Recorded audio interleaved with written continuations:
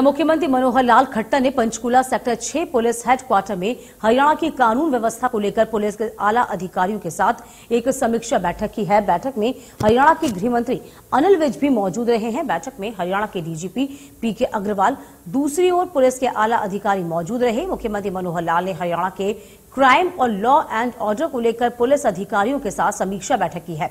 मुख्यमंत्री ने अपराध पर ज़ीरो टॉलरेंस की नीति, साइबर क्राइम, नशे पर रोकथाम, प्रदेश की कानून व्यवस्था और दूसरे मामलों में समीक्षा बैठक की।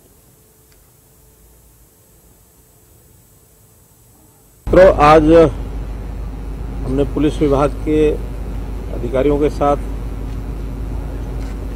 बैठ करके जो हमारा पूरा कानून व्यवस्था की, क्राइम की सब एक रिव्यू मीटिंग की थी और उसमें अ, कुछ विषय जो हमारे जो फ़ोन कॉल्स के माध्यम से फिरौती मांगने की बात है या इस प्रकार की जो घटनाएँ होती हैं जिनको तुरंत रोकने की बात है तो वो सारे विषयों पर रिव्यू किया है। अ, साथ में जैसा इलीगल आर्म्स ये बहुत लोगों के पास पिछले दिनों में पाए गए ऑपरेशन आक्रमण करके जो हमने दो बार अभियान पुलिस ने लिया था उसके अंदर इस प्रकार की चीज़ें बहुत मिली हैं।